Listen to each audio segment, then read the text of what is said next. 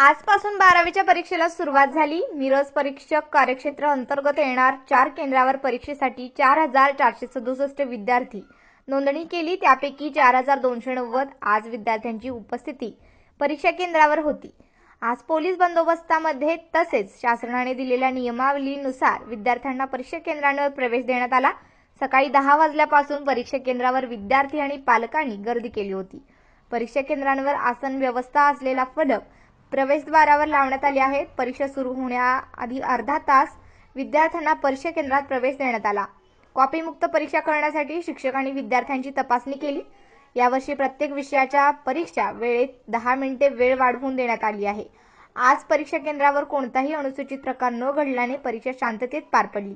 बारावीची परीक्षा एकवीस मार्च पर्यंत सुरू राहणार आहे. लिखाणासाठी आवश्यक असणारं पॅड कुणालाही चालणार नाही. आज जात असताना ब्लॉकमध्ये चप्पल बूट बाहेर काढायचे आहेत सर्वांनी.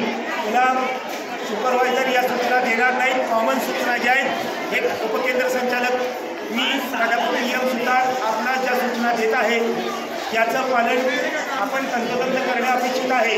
सुपरवायझर पुन्हा तुम्हाला वर्गामध्ये सूचना देणार नाही आहेत त्यामुळे मी या ठिकाणी सूचना देण्यासाठी उभा आहे.